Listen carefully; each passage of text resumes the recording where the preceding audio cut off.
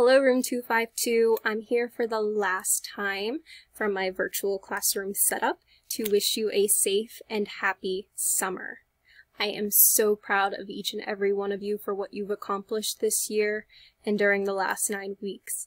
We overcame so many obstacles and we did it together. So for that, congratulations.